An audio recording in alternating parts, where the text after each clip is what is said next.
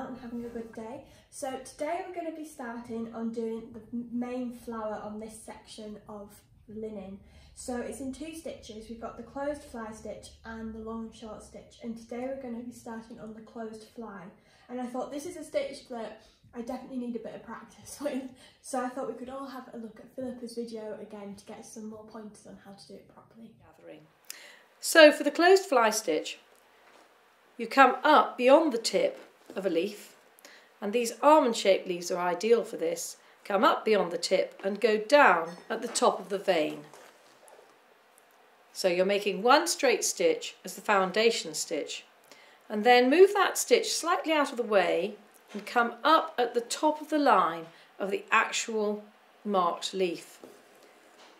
Leave a loop hanging down and go down at the opposite line now I use my second finger to hold that loop out of the way and then come up through the base of your first stitch and bring your needle down, dragging it towards you slightly and just tension that stitch. So you've made a V shape with that second stitch.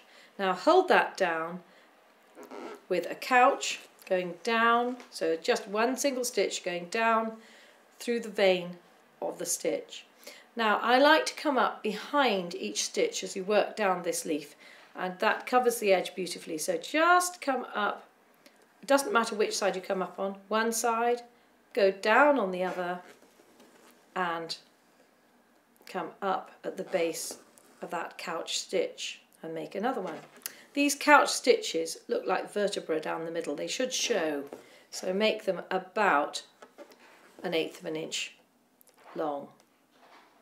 Keep the steep angle by coming up deep into the shape. So come up high into the shape on one side and then on the other. So as you can see, these stitches aren't left-handed or right-handed, but they're worked from the top down. They're worked vertically. And I always find by bringing my hand towards me or using the weight of my hand as you stitch down actually keeps a very even tension. If you stitch from this angle and work across as if you're writing, then that actually is a different tension and it's very difficult to keep the same weight in your hand. As you get to the base of the leaf, you'll find that the V uses up the shape.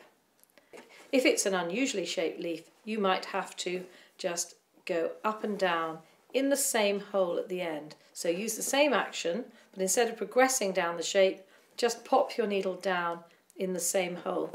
And this makes for a really lovely, neat finish down here. That was really useful. I don't know about you, I say this every time we watch the videos, but I do find them so useful to go back every so often just to get a little refresher on what we're meant to do.